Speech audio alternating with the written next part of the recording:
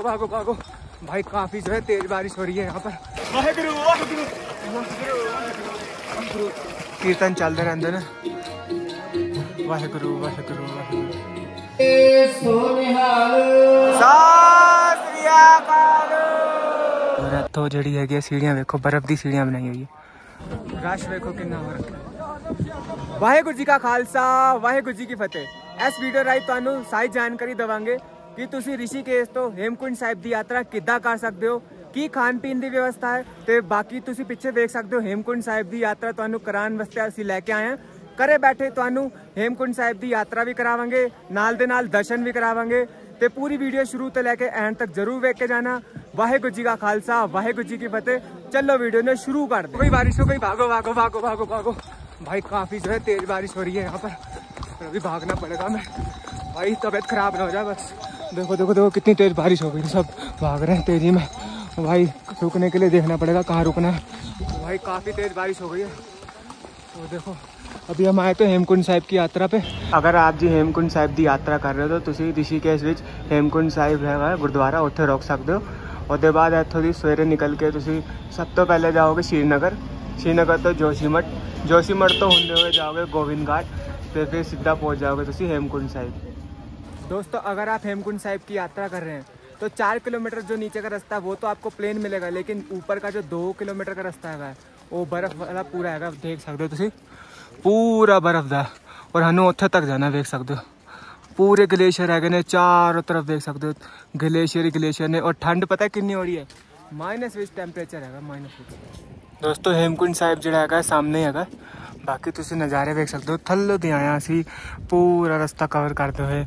ਬਰਫ਼ ਵੇਖੋ ਭਾਈ ਕਿੰਨੀ ਜ਼ਿਆਦਾ ਹੋਈ ਹੋਈ ਹੈ ਇੱਥੇ अगर ਤੁਸੀਂ ਆਂਦੇ ਹੋ तो ਤੁਹਾਨੂੰ बर्फ ਦੇ नज़ारे भी दिखणगे ਇੱਥੇ ज़्यादातर तो यहाँ पर बर्फीली पहाड़ियाँ ही होती हैं और ठंड भी काफ़ी लगती है लेकिन यहाँ पर अभी ना धूप चढ़ी हुई है और धूप दिखी है बहुत मुश्किल से देख सकते हो देखो कितनी प्यारी बहुत धूप चढ़क की है बर्फ में अगर आपको धूप मिल जाए ना तो इससे बड़ी राहत क्या ही है काफ़ी आनंद आ रहा है और बस आने ही वाला है हेमकुंड साहिब के आपको दर्शन कराएंगे हम और काफ़ी आनंद आ रहा है वाहेगुरु का नाम लेते हुए जा रहे हैं चारों तरफ देख सकते हो कितनी बर्फबारी हो रखी है ਇੱਥੇ ਵੇਖੋ ਕਿੰਨੇ ਮੋਟੇ ਗਲੇਸ਼ੀਅਰ ਹੈਗੇ ਨੇ ਇੱਥੋਂ ਤੁਸੀਂ ਰਸਤਾ ਵੇਖ ਰਹੇ ਹੋ ਨਾ ਇਹ ਬਿਲਕੁਲ ਪਲੇਨ ਰਸਤਾ ਹੈਗਾ ਔਰ ਇੱਥੋਂ ਜਿਹੜੀ ਹੈਗੀ ਸੀੜੀਆਂ ਵੇਖੋ ਬਰਫ਼ ਦੀ ਸੀੜੀਆਂ ਬਣਾਈ ਹੋਈ ਹੈ ਪੂਰੀ ਉੱਤੇ ਤੱਕ ਜਾ ਰਹੀਆਂ ਨੇ ਸਾਰੀ ਬਰਫ਼ ਦੀ ਸੀੜੀਆਂ ਨੇ ਬਾਕੀ ਤੁਸੀਂ ਵੇਖ ਸਕਦੇ ਹੋ 60-8 ਮੋਟੀ ਇੰਚ ਹੈਗੀ ਬਰਫ਼ ਦੀ है देखो चेक करो। और टॉप निकल गया देखो। हमने चल रहे हैं। सीढ़ियाँ के उत्ते उत्ते आराम नाल चलना पैदा है। पूरा रख पैर चलो चलो चलो। बर्फ़ चेक करो भाजी देखो कितनी बर्फ़ हैगी मोटी बर्फ़।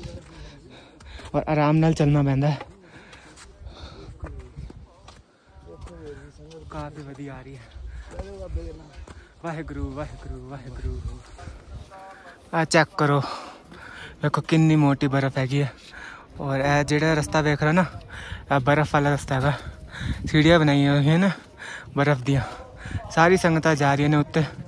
ए रास्ता है बर्फ़ वाला थले जेड़ा रस्ता सीगा ना वो प्लेन सीगा। उद्देशू वर्फ दिखेगी, लेकिन इतने ना पूरा रस्ता बर्फ़ ही है। चलो चलने उत्तों की तो दोस्तों, सामने देख रहे हैं ना, पहाड़ चल रहा। और बस, पहुँचने वाले हेमकुंड साहिब। और कितना आनंद आ रहा है। आप भी सुनिए, कितना आनंद आ रहा है। पहाड़ों में जो पहाड़ चल रहा, देखिए। कितना आनंद आ रहा है, बहुत आनंद आ रहा है।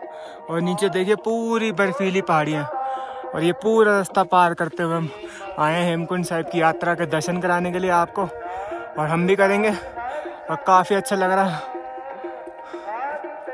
और धूप भी हल्की हल्की चढ़ी हुई है। हमारी किस्मत थोड़ी अच्छी है, वरना धूप ना काफ़ी कम चढ़ती है। तो दोस्तों, पहुँचने ही वाले हैं। आप देख सकते हैं, यहाँ पर पहाड़ चल रहा है पीछे। और थोड़ा सा ही पास में रह गया। मेरे हिसाब से एक किलोमीटर और होगा। और पहुँच ही गए। और काफ़ी जो है आनंद आ रहा है। यहाँ पर स्वर्ग में आ गए ऐसा लग रहा है, देख सकते हैं। चारों तरफ़ काफ़ी बर्फीली पहाड़ियाँ हैं। देख सकते हो, ग्लेशियर ऊपर देखो। फाइनली दोस्तों, देख सकते हैं, सारा रास्ता क्लियर कर लिया। और अब ये लकड़ी वाला जो रास्ता आ चुका। और अभी चलते हैं और दिखाते हैं। और सामने ही आप दर्शन कर रहे हैं हेमकुंड साहिब के। और काफ़ी जो आनंद आ रहा हमें। काफ़ी अच्छा लग रहा है। व्यू देखिए भाई। चारों तरफ़ बर्फीली पहाड़ियाँ हैं। और बीचों बीच हेमकुंड साहिब के आप दर्शन कर रहे हैं। और सबसे टफेस्ट चढ़ाइयाँ हैं। में से एक चढ़ाई है हेमकुंड साहिब की। ये रास्ता आप देख रहे हैं सरोवर साहिब जाने का रास्ता।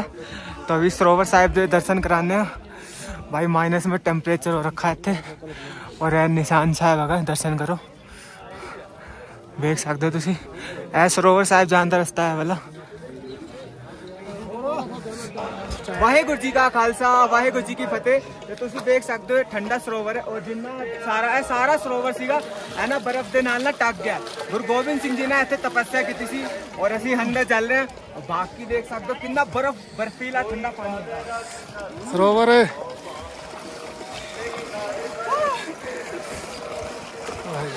काफी ठंडा पानी है वाहेगुरु वाहेगुरु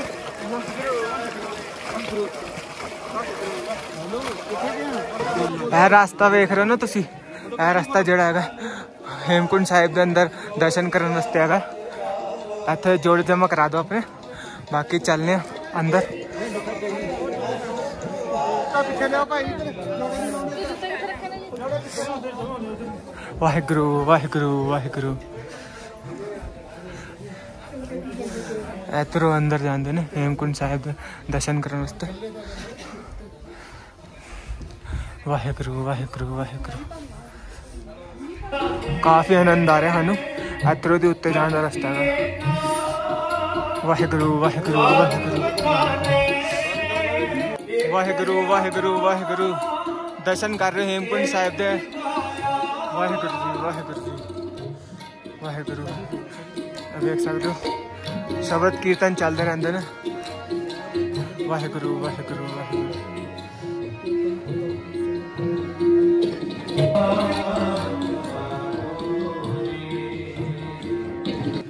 ਸੱਚਖੰਡ ਸ੍ਰੀ ਹੇਮਕੁੰਡ ਸਾਹਿਬ ਜੀ ਦੇ ਦਰਸ਼ਨ ਕਰ ਰਹੇ ਹੋ ਤੁਸੀਂ ਵੇਖ ਸਕਦੇ ਹੋ ਹੇਮਕੁੰਡ ਸਾਹਿਬ ਦੀ ਯਾਤਰਾ ਵਿੱਚ ਕਾਫੀ ਜਿਹੜੀ ਬਰਫ਼ ਦਿਖਦੀ ਹੈ ਤੁਹਾਨੂੰ ਔਰ ਇੱਥੇ ਉੱਤੇ ਆਓਗੇ ਨਾ ਇਹ ਸਾਹਮਣੇ ਜਿਹੜਾ ਹੈਗਾ ਗੁਰਦੁਆਰਾ ਹੈਗਾ ਇੱਥੇ ਹੀ ਤੁਹਾਨੂੰ ਸਰੋਵਰ ਦਿਖ ਜਾਏਗਾ ਕਿੰਨੀ ਵੇਖ ਸਕਦੇ ਹੋ ਬਰਫ਼ ਪਈ ਹੋਈ ਹੈ ਉੱਤੇ ਤੱਕ ਬਿਲਕੁਲ ਬਰਫੀਲੇ ਪਹਾੜ ਹੈਗੇ ਨੇ ਵਾਹਿਗੁਰੂ ਵਾਹਿਗੁਰੂ ਇਸ਼ਨਾਨ ਕਰਨ ਦੇ ਬਾਅਦ ਨਾ ਤੁਸੀਂ ਇੱਦਾਂ ਬਹਿ ਸਕਦੇ ਹੋ ਕੰਬਲ ਕੁੰਬਲ ਸਭ ਮਿਲ ਜਾਂਦੇ ਨੇ ਵੇਖ ਸਕਦੇ ਹੋ ਸਾਰੀ ਸੰਗਤਾਂ ਬੈਠੀ ਹੋਏ ਨੇ ਕੰਬਲ ਮਿਲ ਜਾਂਦੇ ਇਸ ਤਰ੍ਹਾਂ ਕਰਕੇ ਆਨੰਦ ਆ ਰਿਹਾ ਵਾਹਿਗੁਰੂ ਵਾਹਿਗੁਰੂ ਜੀ ਕੀ ਫਤਿਹ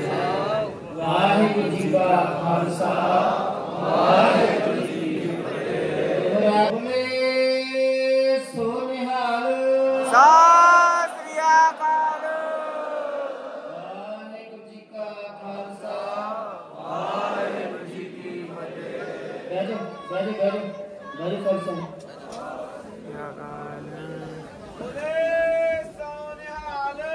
श्रीकाल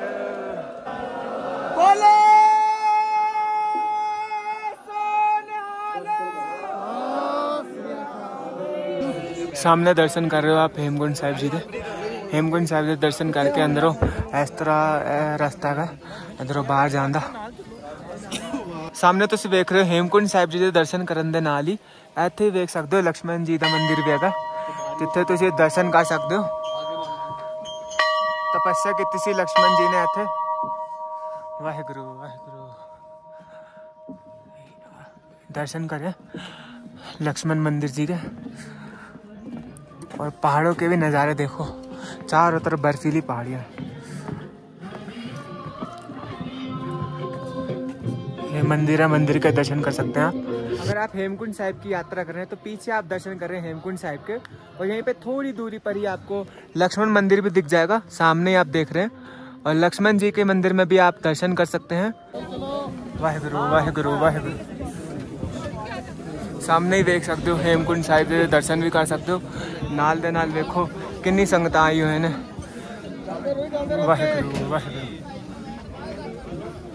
सामने आप देख रहे हैं, लंगर हॉल होने वाला है अच्छे हाँ, तो थानू सब कुछ मिल जाएगा, चाह मिल जाएगी शकन वास्ते खीर भी मिल जाएगी, और फिर सब तो सारी संगत लंगर छक है ना। ये आप उस साइड देख रहे हैं ना, वो वाला प्लेन वाला रास्ता, और एक ये रास्ता है, जो सीढ़ियों वाला रास्ता। आप दोनों में से कोई से भी रास्ते से आ सकते हैं, लेकिन जो ये वाला रास्ता होता है थोड़ा सा कठिन होता है। तो बुज़ुर्ग बंदे जो हैं, वो उस वाले रास्ते से आएँ। वो थोड़ा सिंपल रास्ता है और एक घंटे का डिफरेंस होता है इसके और उसमें से आपके बच जाते हैं। और ये यहाँ से आप ऊपर जाएँगे, हेमकुंड साहिब आपको ऊपर से दिख जाएगा। ये चेक करो भाई। ये यहाँ पर ना रास्ता बना रहे हैं क्योंकि बर्फ़ ज़्यादा हो जाती है ना तो अभी भी खुदाई चल रही है, देखो। कितनी बर्फ़ पड़ी हुई है यहाँ पर।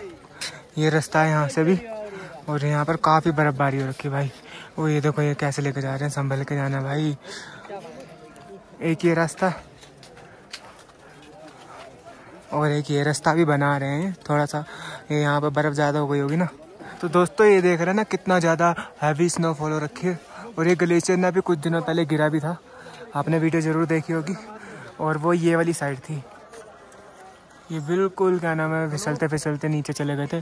चार पाँच लोग तो दब भी गए थे।